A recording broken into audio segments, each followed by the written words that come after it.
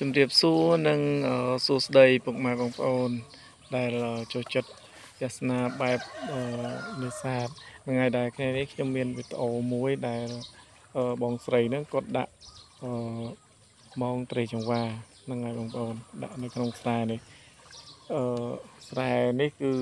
ឃើញមានអឺត្រីចង្វាច្រើនដែរបងប្អូនហើយមានដើមស្រូវមានអីចឹងគុំធំធំណាបងប្អូននេះបើសិនជាអឺ វាដុះញឹកណាដឹងល្អប៉ុណ្ណាបងប្អូនគឺស្រូវហ្នឹងគាត់អឺម្ចាស់គាត់ហ្នឹងក៏គាត់ព្រោះដែរគាត់ព្រោះទៅហើយព្រោះដល់ពេលទៅទទួលចំភ្លៀងធំមក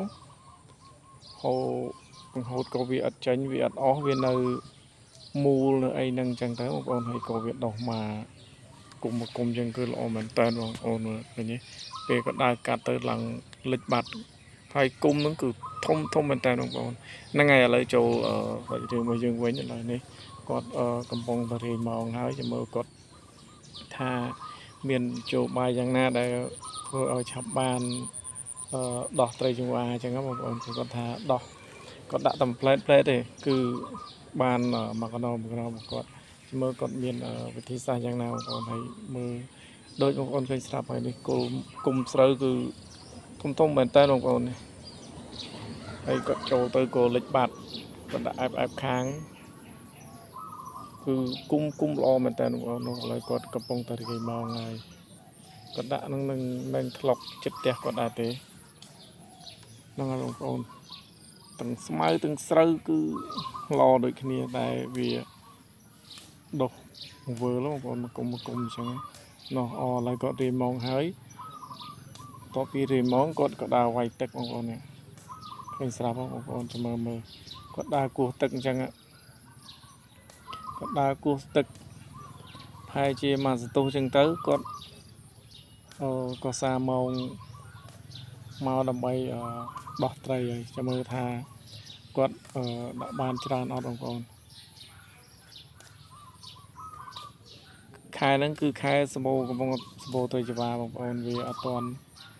ចុះទៅណាទេវានៅតាមស្រែតាមអីចឹងបងប្អូនស្រូវចេញស្រស់ហើយនេះហ្នឹងគឺ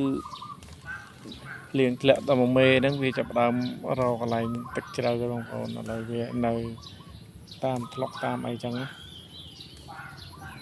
ឡូវគាត់កំពុងទៅវាយទឹកហើយបងប្អូនបានគោះទឹកហើយចាំមើលថា បានអត់ថ្ងៃហ្នឹងឃើញគាត់ដាក់បានច្រើនច្រើនដែររាល់ថ្ងៃហើយថ្ងៃនេះក៏មក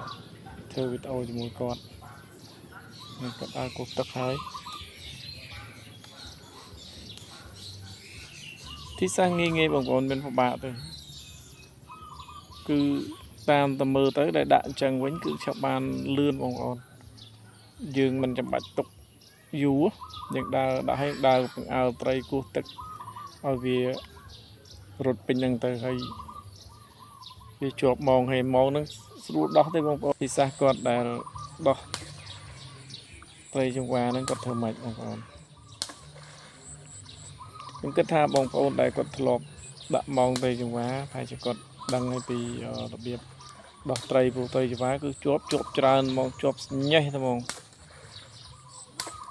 គឺវងវាច្រើនមែនតើបងប្អូនណាហើយគាត់កំពុងដើរគោះទឹកហើយ នេះបើមានគ្នាច្រើនបងប្អូនគ្នា2នាក់3នាក់អីដើរគោះវិញនឹងបានប៉ុន្មានបងប្អូននេះនេះគាត់ម្នាក់ឯងអញ្ចឹងគាត់ដើរគោះពេញហ្នឹងបើសិនឥឡូវវារត់មកខាងក្រៅទេបងប្អូនគឺច្រើនមែនតើតែដោយសារវាមកលុបឲ្យខ្ញុំថតទៅមើលវាអត់សូវច្បាស់ខ្ញុំដើរមកគឺវារត់រត់គឺទឹកបងប្អូនឃើញទេរត់ឡើងគឺទឹកមែនតើហ្នឹងហើយហើយវាចូលតាមស្រូវតាមអីអញ្ចឹងណាវាចូលតាមស្រូវឡើងគឺទឹក ឥឡូវនោះគាត់ដើរគោះដល់នោះហើយ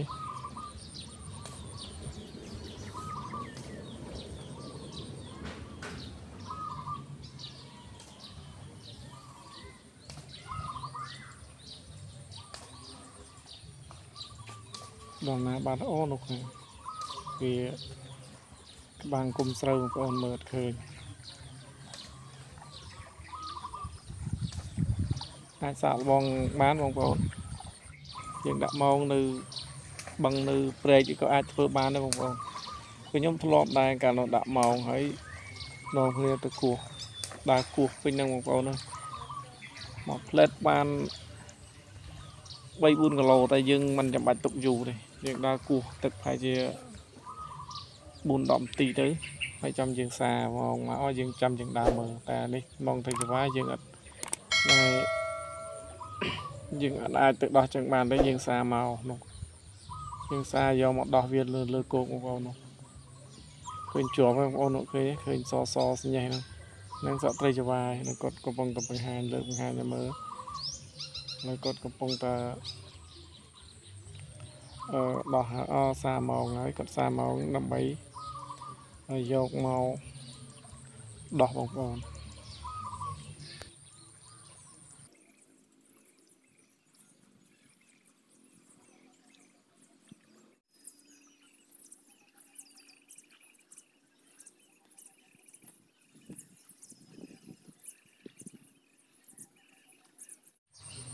ខេហ្នឹងហើយបងប្អូនលើគាត់ក៏សាម៉ោងរួចរាល់ហើយលើគាត់ដើរមកហើយចាំមើលថាអឺបានប៉ុន្មានបងប្អូននេះគាត់ដាក់ទៅនឹងដាក់អឺជើងទី1ទេដាក់ជើងទី1ហើយគាត់ដាក់ដេញមើលគាត់ដាក់ប្រមាណដៃមើលហ្នឹង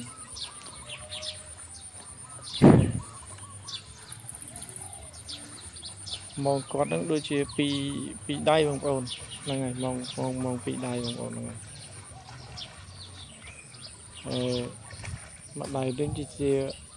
ហើយជា20ម៉ែត្រទេអត់ដល់ផងដឹងទេបងប្អូនខ្ញុំអត់បានច្បាស់ដែរនោះបងប្អូនឃើញទេជាប់ឃើញជាប់ឲ្យសញ្ញេះបងប្អូននោះ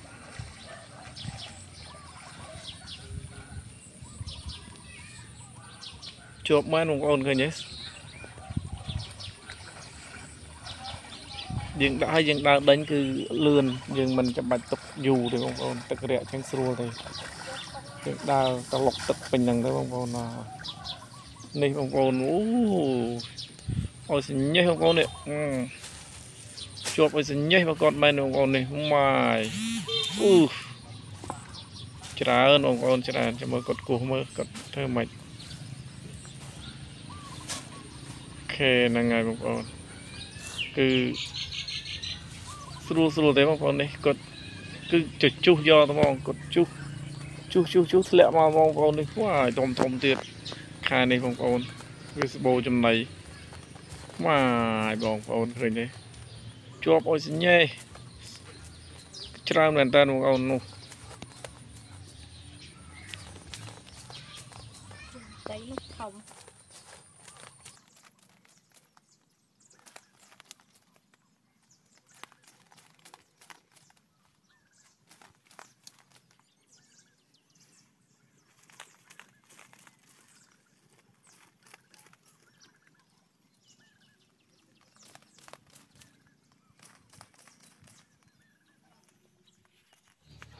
ហើយចង្វានេះធំធំទៀតបងប្អូននេះធំធំមែនតើ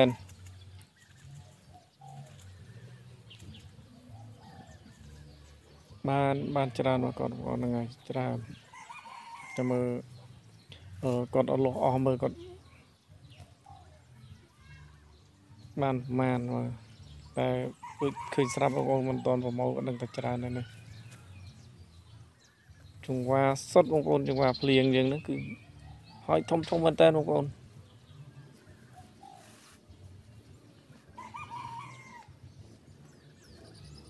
អូឃើញតំណងណាស់បងប្អូនអើយបងប្អូនដែលចូលចិត្ត